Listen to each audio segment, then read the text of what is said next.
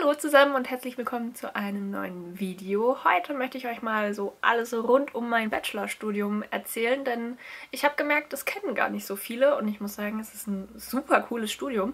Und gerade für Leute, die sagen, oh, ich möchte irgendwas mit Medien machen, ist das, glaube ich, das perfekte Studium. Und ja, deswegen möchte ich euch da ein bisschen was drüber erzählen. Ich habe Medienkonzeption in Furtwangen im Schwarzwald studiert. Und ich starte jetzt erstmal mit so ein bisschen was über mein Studium zu erzählen, ähm, wie da so der Ablauf war und dann äh, am Ende noch ein bisschen, wie das Leben in Furtwangen so ist. Also das Studium in Furtwangen ist an einer Hochschule, deshalb geht es sieben Semester. Also anders als an einer Universität. Start ist in Furtwangen immer im Herbst und im Sommersemester und das bieten, glaube ich, nicht so viele Hochschulen an. Zur Zulassung kann ich sagen, der NC ist meistens bei so 2,5 für Medienkonzeption. Ich glaube, in meinem Semester war er, glaube ich, 2,8 oder 2,9. Äh, man kann aber beim Prüfungsamt anrufen und nachfragen. Die sind super hilfsbereit dort, die helfen den Studenten super gerne, beantworten alle Fragen, die man hat. Vielleicht kann man es mittlerweile auch online abrufen und nachgucken, wie denn da so der NC ist. Aber ich meine, der hängt immer davon ab, wie viele Studenten oder wie viele Leute sich bewerben und kann dadurch super variieren von Semester zu Semester. Ich weiß aber, dass Medienkonzeption den höchsten NC hatte. Medieninformatik war meines Wissens damals NC frei, also zulassungsfrei. Und Online-Medien hatte, glaube ich, bei 3.0 oder so, also nicht so viel hinten dran. Das heißt aber, man muss nicht einen 1,Abi hinlegen, um dort studieren zu können, was äh, ja definitiv gut ist. Dann gliedert sich das Ganze in das Grundstudium und das Hauptstudium. Grundstudium sind die ersten drei Semester und danach Semester 4 bis 7 sind dann das Hauptstudium. Noch ein kleiner Disclaimer vorneweg. Ich habe studiert von 2015 bis 2018. Ähm, die SPO, also die Studien- und Prüfungsordnung, hat sich seitdem leicht verändert. Ich habe mal reingeguckt und muss sagen, die ist deutlich besser geworden für Medienkonzeption. Also ich finde, die das Studium ist noch besser geworden von den Inhalten her, einfach noch zielgerichteter und viel besser äh, als mein Studium damals noch. Da waren so ein paar Prüfungsfächer dabei, wo ich gedacht habe, hm, die bräuchte ich eigentlich nicht. Aber ja, gut, waren halt mit dabei. Und äh, ich kann jedem empfehlen, auch in die SPO reinzugucken und zu gucken, ob sich da wieder was geändert hat zu dem, was ich hier erzähle. Ich glaube aber, der Grundaufbau wird gleich sein, nur einzelne Module werden sich verändern. Also genau das hat ja jetzt auch quasi stattgefunden. Die Verteilung ist ein bisschen anders zu mir, ähm, wie es aktuell ist und ein paar andere Studienfächer, ähm, Module sind im Studienfach mit drin. Im ersten und zweiten Semester kriegt man eigentlich alles vermittelt, was irgendwas mit Medien bedeuten kann. Denn Medien sind quasi überall und umgeben uns ja total und wir interagieren damit dauernd. Also sei es jetzt mit irgendwelchen Apps am Handy oder wenn wir Fernseh schauen oder am Computer sitzen, wenn wir an Plakatwänden vorbeilaufen, wenn wir ja irgendwo unterwegs sind. Eigentlich sind Medien immer auch vorhanden und genau das wird im Grundstudium ein eigentlich gezeigt. Ich hatte da Vorlesungen zu Audio-Videotechnik, ähm, 3D-Modellierung, Programmierung, also ähm, Frontend, also wie eine Webseite oder eine App äh, aussehen kann. Ähm, und habe da so diese ganzen Grundlagen von den Medien bekommen. Zusätzlich werden dann in den ersten beiden Semestern auch konzeptionelle Grundlagen vermittelt, wo es einfach darum geht, wie ist so ein Bildaufbau, wie sollte der sein und man kriegt da einfach die grundlegenden äh, Regeln zur Gestaltung quasi vermittelt. Und das ist natürlich wichtig, weil nur wer die Regeln kennt, kann sie dann auch später brechen. Der dritte Part vom Grundstudium ist dann eigentlich noch BWL und Medienwirtschaft allgemeine Betriebswirtschaftslehre haben dann auch alle StudentInnen zusammen, also die Online-Medien und Medieninformatik studieren, kommen da zusammen mit denen, die Medienkonzeption studieren und man hat da BWL zusammen, man hat auch AV-Produktion zusammen, ähm, ich glaube auch 3D-Modellierung haben alle. Also es gibt so manche Module im Grundstudium, die alle drei Studiengänge einfach zusammen haben und wo man dann auch mit den anderen in der Gruppe zusammenarbeitet und bunt durchgemischt wird und gar nicht so eine Differenzierung stattfindet zwischen den Studiengängen. Im ersten und zweiten Semester hatte ich auch noch so Sachen wie Mathematik und Physik. Das ist jetzt rausgeflogen. Ähm, da hat man einfach gemerkt, ja, vielleicht ist es eher was für die Medieninformatiker, aber die Medienkonzeptioner brauchen das definitiv nicht. Äh, dafür ist ein Konzeptionsmodul dazugekommen, was ich sinnvoll halte am Anfang, dass da auch schon ein bisschen diese Grundlagen einfach noch mehr mit einfließen.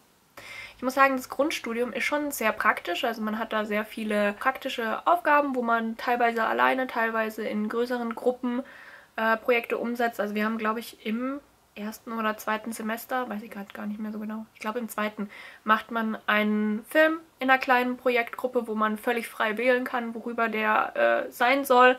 Und das Schöne ist eigentlich, dass am Ende vom Semester diese ganzen Filme zusammen angeguckt werden und bewertet werden von den Professoren und die eben einem erklären auch, was gut und was schlecht an der ganzen Sache ist.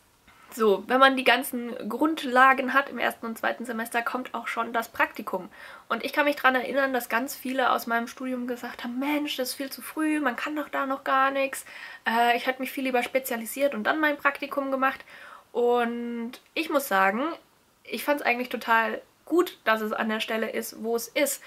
Denn wenn man sich jetzt vorstellt, man würde das Praktikum zum Beispiel erst im sechsten Semester machen, dann hätte man sich ja schon auf einen Bereich spezialisiert und würde dann erst die Realität kennenlernen, wie dieser Beruf tatsächlich aussieht. Und wenn man dann feststellt, das ist ja gar nicht, was ich machen möchte, dann hat man so ein bisschen sein Studium vielleicht verschwendet, die Zeit verschwendet oder falsch investiert, würde ich jetzt eher mal sagen. Daher finde ich es gut, dass es in Furtwangen so früh ist, also im dritten Semester ist wirklich früh für ein Praktikum, aber man kann dann wirklich äh, sehen, wie ist die Arbeitswelt eigentlich? Passt dieser Job zu meinen Vorstellungen? Und wenn man dann sagt, ja, das war cool, genau das möchte ich später arbeiten, dann kann man in diese Richtung seine Studienfächer ein bisschen auslegen und wenn man sagt, hm, nee, das war doch nichts, dann kann man sich nochmal umorientieren und sich im Hauptstudium andere Sachen aussuchen. Beim Praktikum kann man auch wirklich frei wählen, wo man hingeht. Dadurch, dass man so viele Grundlagen am Anfang hat, kann man auch wirklich überall hingehen. Also ich hatte bei mir Kommilitonen, die waren bei großen oder kleinen Unternehmen im Marketing, bei Mittelständlern, aber auch Leute, die in Agenturen gegangen sind und da eher in Richtung Bildbearbeitung gegangen sind oder in 3D-Modellierung oder in die Programmierung gegangen sind. Ich habe auch Freunde, die ihr Praktikum im Ausland gemacht haben, also auch das wird einem irgendwie ermöglicht. Ja, also man kann sich da völlig frei ausleben, wo man sein Praktikum macht und wo man da hingeht und kommt dann zum vierten Semester wieder nach Furtwangen. Und mit dem vierten Semester beginnt das Hauptstudium. Und bei mir war es noch so, dass man vier Module fest vorgegeben hat, ein fünftes Modul aus den Wahlpflichtfächern sich aussuchen kann. Und da kann man wählen, wie man möchte. Viele Hochschulen bieten es ja an, dass man sich so in einen Weg entscheidet. Also wenn man jetzt sagt, man möchte in die AV-Produktion gehen, dann muss man quasi aus der AV-Produktion die Module wählen. Oder wenn man eher in äh, klassisches Marketing möchte, dann muss man davon die Module wählen und das ist in Furtwangen überhaupt nicht so. Man kann nach seinen Interessen wählen. Und die können ganz bunt gestreut sein, was man haben kann und möchte. Also man kann in einem Semester programmieren, im nächsten kann man aus AV-Produktion ausprobieren, also Audio-Video-Produktion ausprobieren. Im nächsten kann man Fotografie machen, zeichnen, ähm, ja, worauf auch immer man Lust hat, äh, kann man da aussuchen. Mittlerweile ist es so, dass im glaube, vom fünften Semester wurde ein Modul nach vorne gezogen. Das heißt, im vierten Semester hat man die 30 ECTS eigentlich vorgegeben, die man pro Semester erbringen sollte. Aber man kann auch zusätzlich Module machen und das würde ich empfehlen. Denn für mich stand im vierten Semester fest, ich möchte im sechsten Semester ins Ausland gehen und würde dann auch gerne meine Wohnung in Furtwangen kündigen. Das heißt, im siebten Semester möchte ich auch nicht mehr unbedingt nach Furtwangen zurück. Im siebten Semester hat man aber noch zwei Module. Und ich habe die mir im fünften Semester dazu geholt. Sprich, ich habe im fünften Semester 42 ECTS gemacht anstatt 30.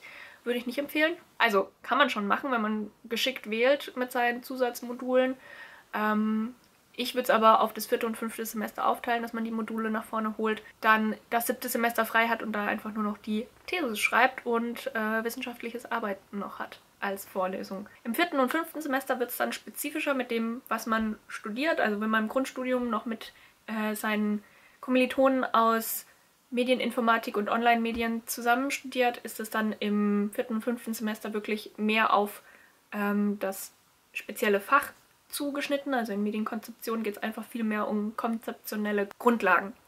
Ich hatte in der Zeit beispielsweise Storytelling, wo man einfach lernt, ähm, wie eine Marketingstrategie beispielsweise so aufgebaut wird, dass da ein Storytelling dabei ist, dass da eine Entwicklung entsteht, einfach damit es interessanter ist für den Endverbraucher oder einfach Kunden. Ich hatte aber auch Interaktionsdramaturgien, wo es zum einen um die zwischenmenschliche Interaktion, glaube ich, ging, wie man sich da äh, geschickt ausdrückt, aber ich glaube auch zwischen Mensch-Maschine also wenn man beispielsweise eine App ähm, gestaltet oder eine Webseite, wie da die, ähm, ja, die, die, äh, der Austausch quasi stattfindet, auf was man da achten sollte. Und ich hatte auch, sind das? Ich glaube Ambient Media.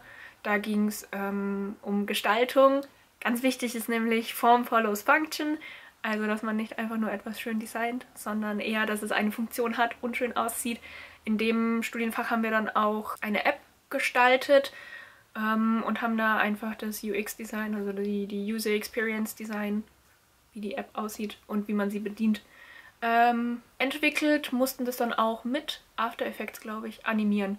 Und das war auch ein richtig cooles Fach. Wir hatten damals eine Professorin, die bei Scholz und Friends gearbeitet hat. Also man kann durchaus sagen, die Professoren in Furtwangen, die sind wirklich super gut. Die haben teilweise bei richtig krassen Unternehmen gearbeitet und ja, sind jetzt Professoren und bringen den Studenten ihr Wissen bei. Meine ähm, zusätzlichen Fächer, die ich belegt habe, waren im vierten Semester Medienethik und Medienrecht. Fand ich beides äh, super gut. Ist auch ein Modul, was zusammengehört. Medienrecht war damals bei einer äh, Anwältin, die von ihren tatsächlichen äh, Fällen teilweise auch erzählt hat, was da so ja bei ihr in der Kanzlei eigentlich abgeht. Und war super spannend, da einfach zu erfahren, was es zum Beispiel mit einem Patent auf, auf sich hat oder das Recht am eigenen Bild und auf was man da so achten muss, einfach um rechtlich sicher irgendwie zu sein. Und bei Medienethik war es interessant, einen anderen Blickwinkel auf manche Sachen zu bekommen. Also klar kann man zum Beispiel sagen, Sex sells, aber ist es ethisch eine Sache, die man machen sollte? Und inwieweit sollte man die machen?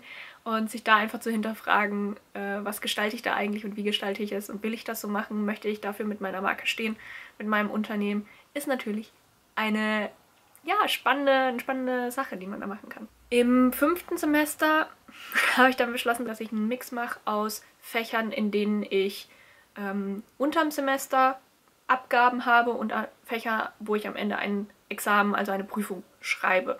Das hat ausgesprochen gut funktioniert. Also meine Prüfungsphase am Ende war eigentlich recht entspannt, weil ich unterm Semester schon relativ viel äh, ja, erledigen konnte. Zum einen war das Zeichnen, was ich belegt habe, was ich einfach richtig gut finde. Ich habe auch nachgeguckt, es macht immer noch der gleiche Dozent wie bei mir damals. Und wer sich dafür entscheidet, der kann gar nichts falsch machen. Das ist ein absolut cooler Typ, der einem wirklich beibringt, wie man sein Zeichnen verbessern kann. Ähm, und wenn es dann nur um perspektivische Sachen geht, ich finde es super wichtig, wenn man eine Idee hat, dass man die einfach grob schnell ähm, skizzieren kann und aufzeigen kann, was man da eigentlich äh, gerade erzählt und was man da meint. Und da ist Zeichnen wirklich sehr hilfreich. Ein anderes Fach, was ich belegt habe, war Typografie. Also da geht es dann um Schriften. Da muss ich auch sagen, der Dozent ist der absolute Hammer. Das ist einer, der nimmt kein Blatt vor den Mund, der sagt dir knallhart ins Gesicht, wenn irgendwas scheiße ist, was du machst. Aber der sagt auch, wenn es richtig geil ist, was du machst. Und dadurch finde ich, lernt man total viel, weil man eben genau weiß, welche Fehler man gerade macht und wie man äh, das, was man gestaltet, nochmal besser machen kann. Ähm, ja, also beides richtig coole Typen, kann ich beide Fächer empfehlen und man hat die Abgaben unterm Jahr. Dadurch ist dann die Prüfungsphase entspannter. Furtwang ist total abwechslungsreich von den Wahlpflichtfächern. Ähm, ich habe dann zum Beispiel noch Music Business belegt, weil ich mir dachte, hm, bei einem Plattenlabel zu arbeiten, das wäre doch cool. Nach der Vorlesung habe ich äh, festgestellt, mm, mm, ich möchte nicht in einem Music, ich möchte nicht in diesem Musikbereich arbeiten. Aber das war auch total gut, äh, das irgendwie festzustellen im Studium. Und war auch eine interessante Vorlesung, war auch gut gemacht. Ähm, den Professor, den wir dort hatten, der war von der Deutschen Popakademie, also eine, die ja äh, sich auf Musik spezialisiert und der konnte wirklich was dazu erzählen mit dem Music Business, aber ich konnte mich damit nicht wirklich identifizieren und war dann froh, als dieses Modul auch wieder rum war. Im vierten und fünften Semester hat man auch ein ähm, Projekt, das sich tatsächlich über diese zwei Semester zieht und wo man dann die ganze Zeit eigentlich dran arbeitet. Äh, das läuft so, dass Professoren Themen vorgeben oder Projekte vorgeben und man kann sich auf diese Projekte bewerben. Ich war damals in einer Projektgruppe, die für das International Office von Furtwangen einen Imagefilm gemacht hat, der eben die internationalen Studierenden anlocken sollte und äh, ja, von Furtwangen überzeugen sollte.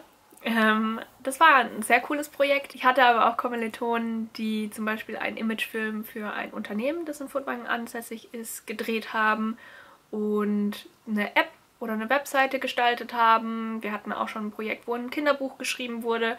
Also da ist auch wirklich super vielfältig, was man eigentlich machen kann und welche Projekte es gibt. Und da kann man frei wählen nach seinen Interessen, vielleicht auch mit welchem Prof man da gerne zusammenarbeiten würde und kann sich da ein Projekt aussuchen. Im sechsten Semester hat man super easy die Möglichkeit, in Furtwangen ins Ausland zu gehen, weil keine Pflichtveranstaltungen sind, an denen man teilnehmen muss. Also man hat da ein komplett freies Semester. Wenn man in Furtwangen bleibt, kann man sich da 30 ECTS zusammenstellen, wie man möchte. Also einfach aus den Wahlpflichtfächern Module raussuchen, die einem ansprechen und die belegen. Ähm, die einzige Voraussetzung ist, glaube ich, dass man ein Sprachmodul belegt. Also da kann man aber auch wählen, glaube ich, zwischen Englisch, Spanisch. Ich glaube sogar Russisch wird angeboten. Also da kann man wirklich aussuchen, worauf man Lust hat und das belegen.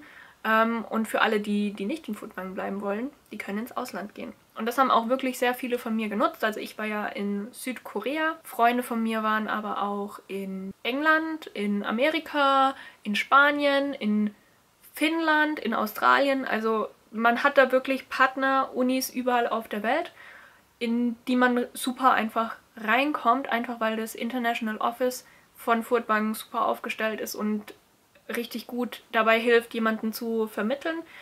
Und was da auch super gut ist, für alle, die denken, oh Mist, Auslandssemester super teuer, kann ich mir nicht leisten. Alle, die ich kenne, haben ein Stipendium bekommen. Einfach weil das International Office jeden versucht zu vermitteln und den irgendwie ein Stipendium klar zu machen, damit man eben ja auf jeden Fall ins Ausland gehen kann. Also man wird wirklich dazu ermutigt und es wird einem möglich gemacht, ganz einfach ins Ausland zu gehen und im Ausland zu studieren. Und ich habe auch von keinem gehört, dass er Kurse, die belegt wurden, nicht angerechnet wurden. Also es wird eigentlich alles angerechnet, was man im Ausland macht.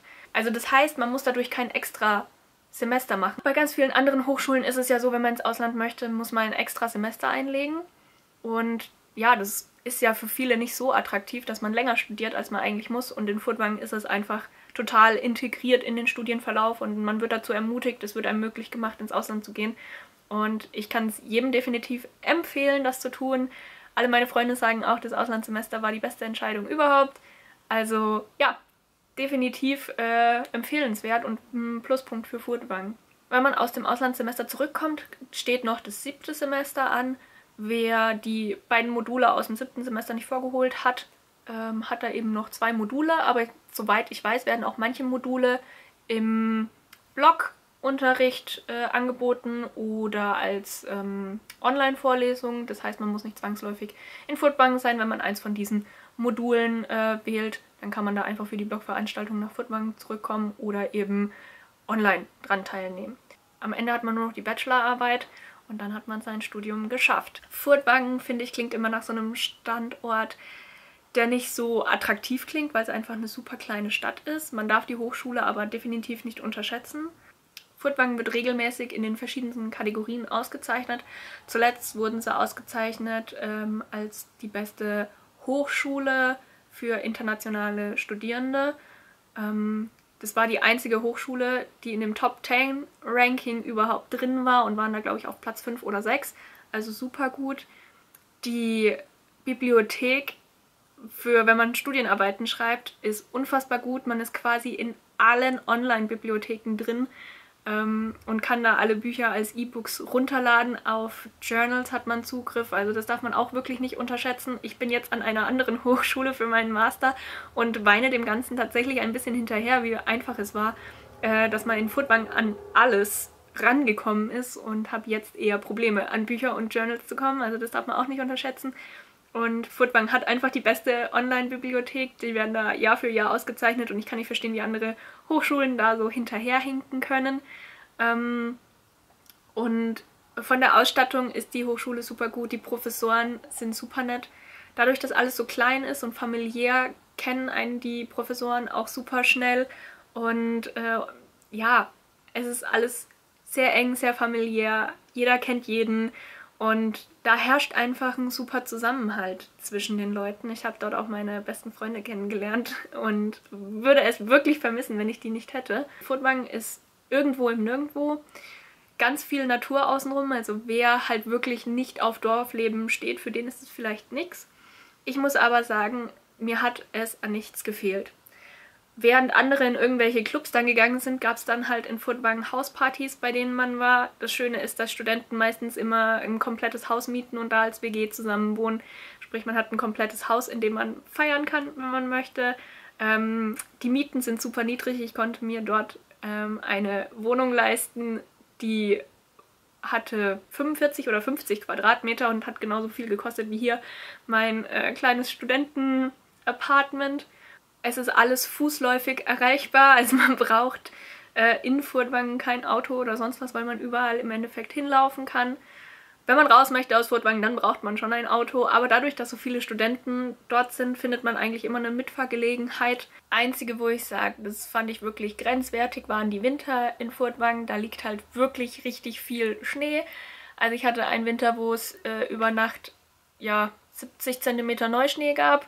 Und das ist dann schon verrückt und es schneit auch oftmals noch im Mai. Also ja, es ist sehr kalt dort im Winter, sehr viel Schnee. Aber ich meine, wer gerne Ski fährt oder Snowboard fährt, der wird sich da super wohl fühlen. Und das Gute ist auf der anderen Seite auch wieder, im Sommer wird es dann nicht ganz so heiß. Also wenn im Rest Deutschland irgendwie 35, 40 Grad sind, ist es in Furtwangen super mild und angenehm. Ja, also ich muss sagen, ich habe mein Studium wirklich geliebt auch wenn ich im Endeffekt nur effektiv zwei Jahre in Furtwangen war. Ähm, ich finde, das Studium ist super aufgebaut, es wird ständig verbessert und daran gearbeitet. Die Professoren, die dort arbeiten, sind super. Ähm, die Leute, mit denen man studiert, sind auch eigentlich immer total nett. Man hat alle Möglichkeiten, sich auszuprobieren und zu gucken, was zu einem passt, was man gerne machen möchte. Wird dort ermutigt, alles auszuprobieren. Ähm, ich kenne ganz viele, die nach dem Studium ihre eigene Agentur gegründet haben und sich selbstständig gemacht haben und ja, die, den Grundstein quasi schon im Studium gelegt haben, weil sie die Ressourcen der Hochschule nutzen konnten, um sich selbstständig zu machen. Es ist ein super Studium und ich kann es wirklich empfehlen. Das alles war jetzt ein super langes äh, Video mit ganz vielen Informationen drin. Ich hoffe, ich habe alle Fragen, die man dazu haben kann, irgendwie beantwortet. Wenn noch Sachen offen sind, ihr irgendwas wissen wolltet, schreibt es gerne in die Kommentare, da antworte ich gerne drauf oder mache nochmal einen zweiten Teil zu dem Video, falls genügend Fragen zusammenkommen. Ansonsten würde ich mich freuen, wenn ihr den Kanal abonniert. Wenn euch das Video gefallen hat, könnt ihr gerne einen Daumen nach oben da lassen und wir sehen uns beim nächsten Mal wieder. Bis dahin, ciao!